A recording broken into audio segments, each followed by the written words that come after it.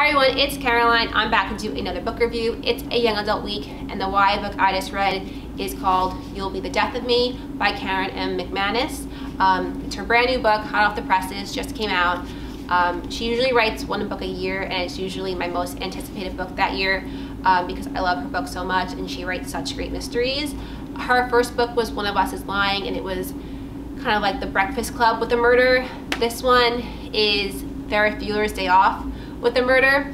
It's about three friends, Cal, Ivy, and Mateo, who have grown apart uh, since middle school, and now they're seniors in high school, and they decide to recreate one of their best friendship days, and they cut school.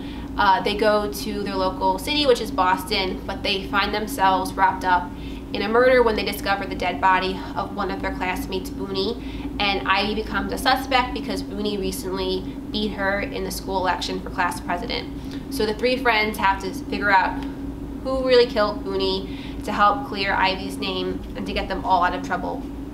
Um, with all Karen McManus books, you're left, you experience all these twists and turns. Uh, each of the main character might have a secret that could help solve the mystery.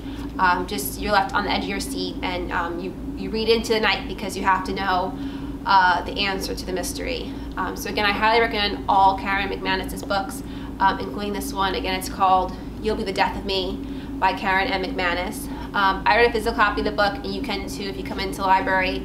You can do regular pickup, curbside pickup, or with contactless pickup in our lobby. But if you feel more comfortable, you can get the ebook if you go to the Nassau Digital Doorway or if you download the Libby app.